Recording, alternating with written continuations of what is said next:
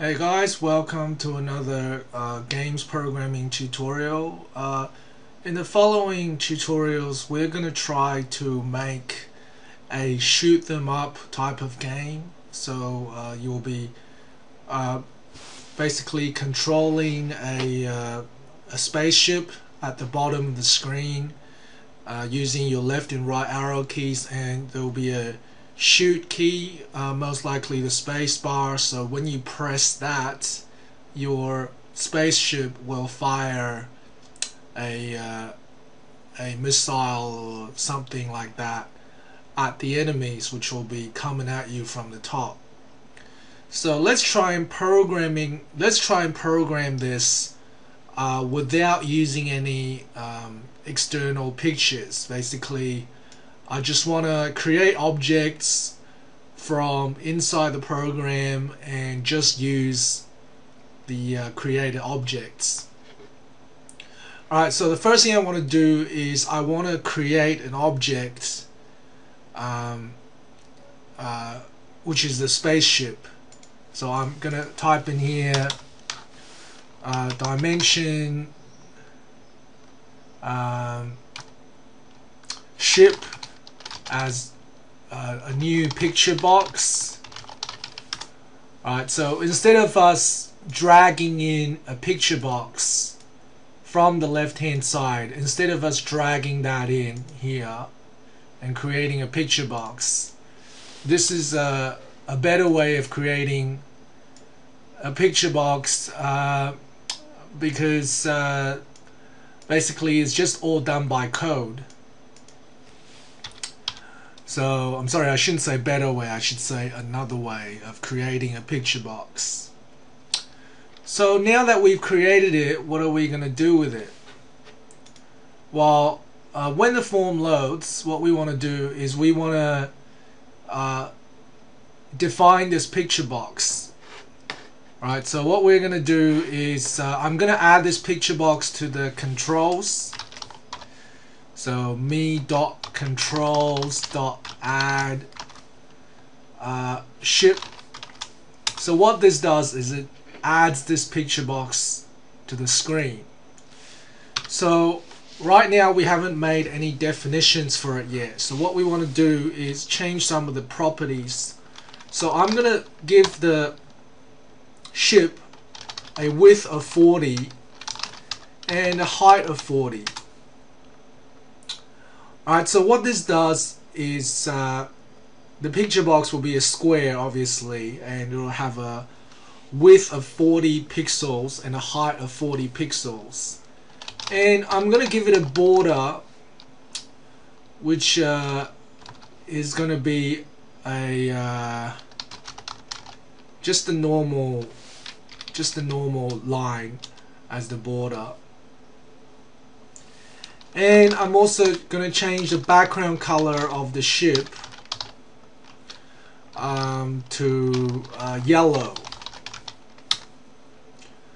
Alright and uh, I'm gonna situate it I'm gonna put it at the y coordinate of let's say 100 and uh, x coordinate of 100 and let's just see what happens and so when you run the program, you see a yellow box at this position, which is 100 pixels from the top, 100 pixels from the left. But this is our spaceship, which we're going to control at the bottom of the screen. So what we're going to do is we're going to move it all the way down here to the bottom uh, of the screen. So basically, where is the bottom of the screen? Well, me dot height which is the height of my form. If you have a look at my form here the height right now is uh, 471 actually let me just check that. Yep so the height right now is the number the second number in the size property when you click on the form. And what we want to do is make that make the position of my ship me dot height which re refers to me refers to this form form 1 and dot height which is uh, whatever the height of the form is, minus uh, the height of my ship times 2. 2 times ship dot height. So let's see what happens when we run this. So now the box is at the bottom of the screen. Alright, so uh, now what I want to do is I want to change the left position, the x corner of my ship to me dot width, which is the width of the form minus, sorry, divided by 2.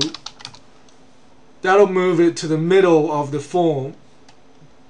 And minus ship dot width, so it's gonna move it to the left a little bit. So let's have a look at what happens now. So you can see the ship is now sitting at the bottom of the program uh, in the middle roughly. Okay, so now that I have added the ship, what I want to do now is make it so that I can uh, control the ship. So if you remember controlling uh, objects, what we want is a timer object. So we're going to drag that timer object onto the screen. So we do need a timer. And in the timer object, I'm just going to change the interval of the timer to 20 uh, 20 milliseconds. And then what I want to do back in the code is uh, actually I want to double click on the timer 1 object. So if you have a look at the timer 1 object, if I want to move the ship dot left by plus equal 1 every time the timer ticks, every 20 seconds, move the ship, move the ship's X position, and if you run the program, it doesn't do anything. And that is because we have to run the timer. So we gotta go timer one dot start um, in when the form loads. So it's gonna start moving the yellow box to the right. But what we want to do is so that we can control where the ship moves. So I'm going to create, I'm going to add a new event handler for key, um, key down.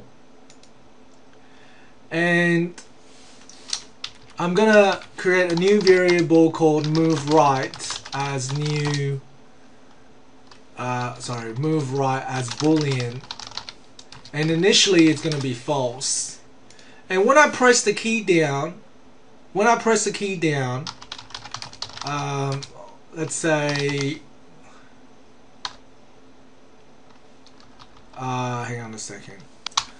So when I press the key down I'm going to use a select statement to check which key I'm pressing down. And if it is uh, if it is the right key, the right arrow key, then what I want to do is I want to change the uh, uh, the move right variable to true. And then when the move right variable is true, so if the move right variable equals true when the timer ticks, then we're going to move the ship. So when you run the program, you can see that initially the ship doesn't move, but when I press the right arrow key, alright, it starts to move to the right, but then I can't stop it. So what I'm going to do is I'm going to add another event handler um, called key up. So click on the form 1 key down somewhere and choose key up. So when I release the key, what I want to do is I'm going to use the same select case statement, but when I press the right arrow key, the move right variable is going to become false. So that means when I release the right arrow key, um, it's it's going to turn false. So if you try run the program, if you press hold the right arrow key down, it moves. Release the arrow key, it stops moving. Okay, so we're gonna repeat the same thing for move left.